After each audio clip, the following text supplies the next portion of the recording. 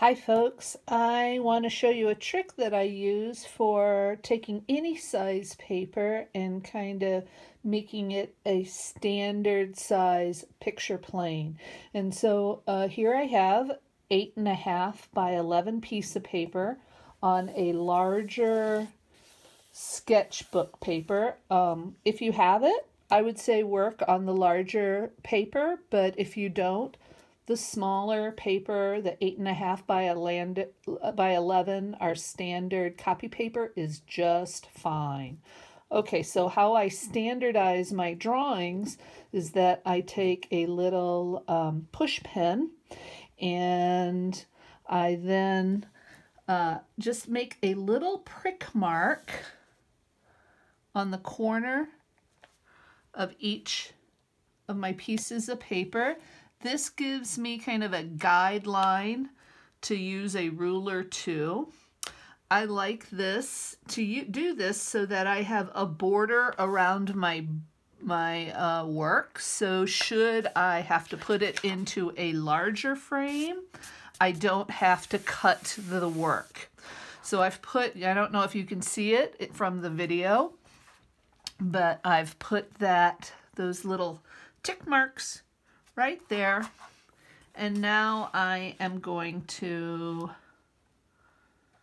line it up with my ruler.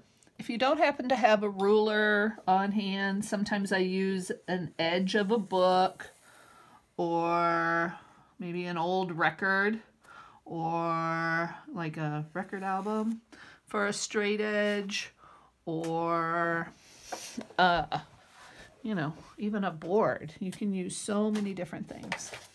Just has to have a straight edge. Okay, so there's my little tick mark right here.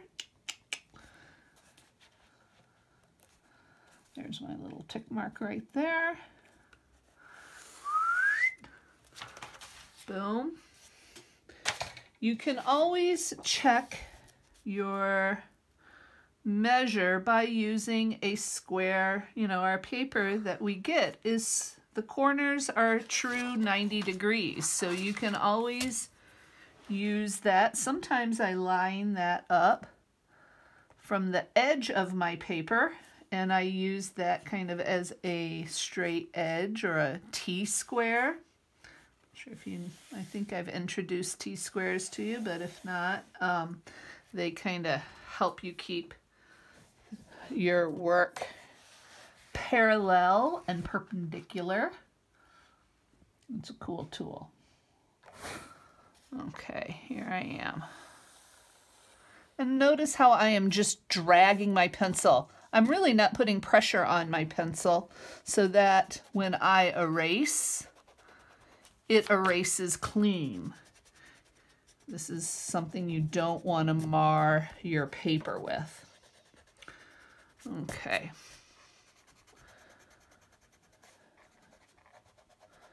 So we have that. Okay. And you can check that I did a pretty good job, I think, against my other paper. Indeed. Okay.